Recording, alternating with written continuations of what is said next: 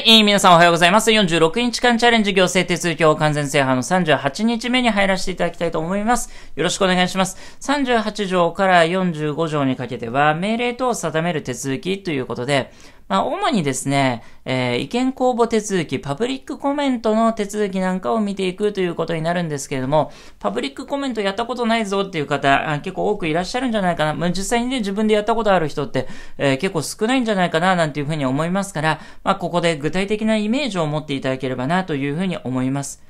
あの、この行政活動の形式の中でもですね、行政立法というのを行政法総論のところで勉強してると思うんですね。行政立法ってやりましたでしょ？委任命令とかですね、行政規則なんていう、まあ伝統的な分類の話っていうのをされると思うんですよ。おそらくその、まあ、あの、学習をしている段階、えーまあ試験勉強のね、え段階とかであると、そうすると、まあ最近のですね、学者の先生方がどういう議論されてるかっていうところに、あまり言及をしないというか、まあ、そこまで見始めちゃうと、かえってですね、混乱ををきたしてしまうということで、おそらくテキストとかにも載せてないんでしょうけれども、この行政立法のところはですね、今、本当にね、学者の先生方によって、いろんな言い方とか考え方を持たれていて、で、結構揺れているというか、混沌としてきているようなところだったりとかするんですよ。まあ私が結構親しい、あの、先生方なんかは、あ結構ね、もう丸めて、ざくっとですね、行政基準っていう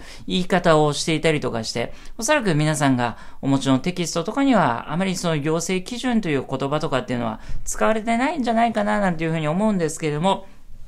最近この行政立法についての考え方も少し変わってきてるんだなんていうことですね。まあ、また後々ですね、しっかりそういった議論なんかについては学習していく機会があればいいかな、なんていうふうには思いますけれども、ざっくりですね、この行政立法っていうのは何かと言いますと、我々が実際にあの法律を読み解いたりとかしますと、うん、行政書士業務でもね、新しい法律ができると新しい許認可が生まれたりとかするわけで、それってめちゃくちゃビジネスチャンスじゃないですか。そうすると、新しい法律ができる過程とかっていうのは我々結構、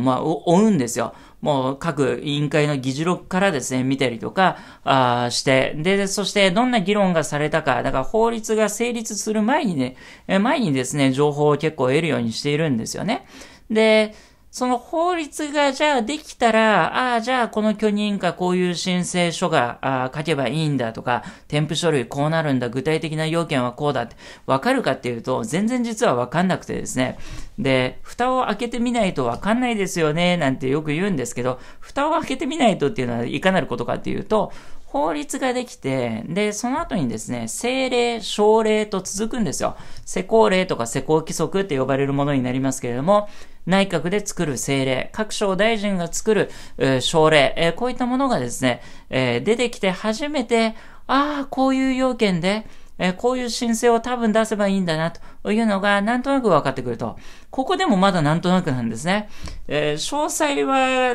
まあ、煮詰まるのは、その後にですね、ガイドラインとか、具体的にあの、省庁のホームページとかでですね、詳細、えーこれが記されたり、示されたりとかすると、ようやくわかるなんていうことがあったりとかするわけなんですね。行政っていうのは、現代行政っていうのは、えーまあ、法律による行政の原理とかって言うんだけれども、ただし、もうこの行政立法なしでは語れない。まあ法律よりも行政立法の方がかなり具体的だし、えーまあ大事なんじゃないかと思われるようなことっていうのがいっぱい書かれるわけなんです。もちろん建前は法律による行政の原理ですから、法律から委任を受ける形で行政立法というのが出来上がっているというのでいいんですよ。もちろん。いいんですけれども、ただこの行政立法の担うですね、重要性というのが、まあ年々増していると、そういうイメージを持っていただくと間違いないんじゃないかなというふうに思っております。っていうことは、国民にとってみますとですね、えーまあ、法律を作るときに我々の意見をちゃんと聞いて、で、それが反映される形で法律を作るというのも大事だし、その後に詳細を詰める段階で、政令とか省令ができる段階で、そこでも、ある程度国民の意見をですね、反映させる仕組みというのを取るのが望ましいのではないかと。まあ、こういうことが言われるわけなんですね。この法律は平成5年にできているわけなんですが、平成5年の段階では処分と行政指導と届け出という3つのですね、手続きについて定められていたということになりますが、平成17年の段階になって、やっぱ行政立法についての手続きルールっていうのも入れた方がいいだろうと。あの、以前からですね、地方公共団体においては、地方においてはですね、パブリックコメントについての条例とかを置いて、で、それでですね、あの、独自に運営をしているパブリックコメントなんかをやっている自治体っていうのは数多く存在したわけなんですが、中央省庁においてですね、中央についてのルール、省令とか政令についてパブリックコメントしましょう、意見公募しましょうなんていう手続きルールはですね、一切なかったんです。平成17年にこの第6章というのが行政手続き法に追加をされて、初めてですね、この中央省庁、中央についてのこの行政立法ルールがですね、敷かれたということになります。はい、えー、ということで、じゃあ38条具体的に条文を見ていくことになりますが、38条のところで、まず命令等という言葉が出てきますが、命令等については2条の8号で、えー、これは定義がございました。定義確認しておいてくださいね。何が命令等になるかということになりますけれども、いわゆる行政立法、あの、政令とか省令っていうのが法律に基づく命令または規則。そして、それだけじゃなくて、審査基準、処分基準、行政指導指針というのもここに含まれるということで、えー、以前ですね、えー、ご説明をさせていただきました。まあ、定義は忘れてしまったりとかしますから、もう何度も何度も繰り返し見ていくと、2条の8号は重要ですから、しっかり命令等とは何か、審査基準、処分基準、行政指導指針も含まれるんだ、なんていうイメージをね、えー、持っておかれるといいと思います。それらを定めるときというのは、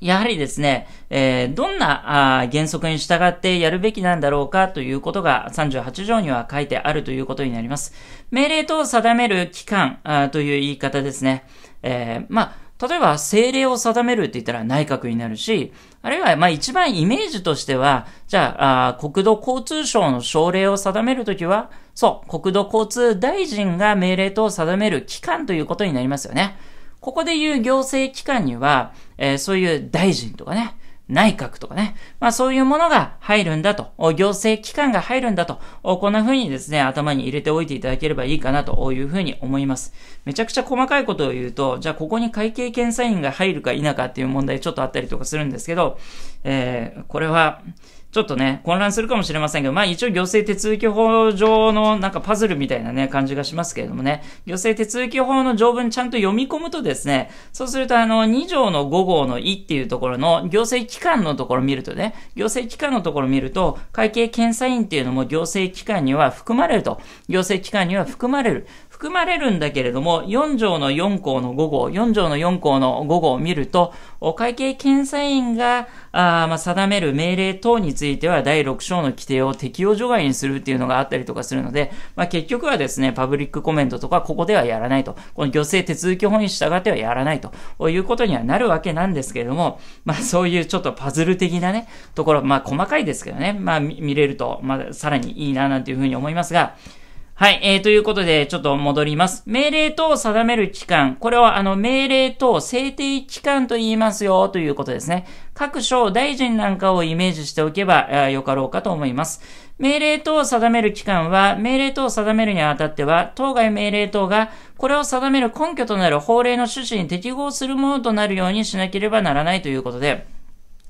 えー、この命令等を定める場合なんですけれども、まあ当然ながらですね、法律による行政の原理からしますと、えー、法律の優位とかね、えー、いう言い方があったりとかしますけれども、法律が優先されるわけですね。えー、これはまあ民主主義的な観点から、まあ国民の代表者が集まる国会で定めた法律が、あやはり優先をされて法律からの委任を受けた政令とか省令という形になりますから、当然ながらですね、その法令の趣旨に適合するものをするようにしないといけませんよ。法律の趣旨に適合して、あるいは、省令であれば、法律、そして政令が定められた後にまた出てくるわけですから、法律とか政令の趣旨に反するようなことをですね、えー、定めてはいけませんよと、そういう意味で、法令の趣旨に適合するようにしてくださいねと書いてあるわけです。はい、えー、それでは第2項のところを見てまいりたいと思いますけれども、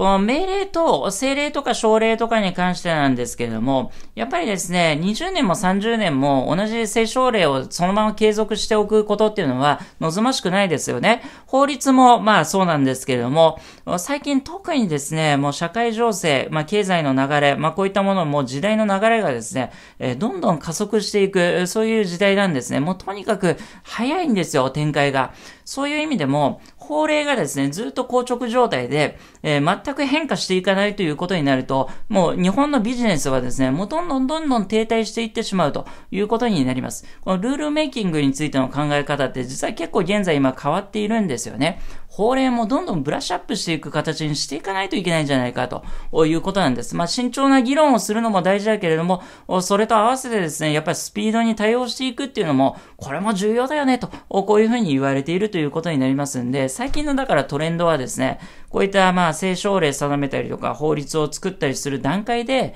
で、不足のところに3年ごとに見直し検討会を置くという形で、3年おきに見直すとか5年おきに見直すっていうのをあらかじめめ設けてしまうことっていうのは結構あったりとかするんですね。そういう形で、聖書令とかこの命令等というのは常にですね、社会情勢とかに合わせて変えていくようにしましょうねというのが第2項ということになってまいります。えー、条文見ていきましょう。命令等制定期間は命令等を定めた後においても、当該命令等の規定の実施状況、社会経済情勢の変化等を勘案し、必要に応じ当該命令等の内容について検討を加え、その適正を確保するように努めなければならないということで、まあ、努力義務の規定ということでね、まあなんか試験対策の時っていうのはもう努力義務、努力義務っていうことで、覚えるのかもしれませんけれども、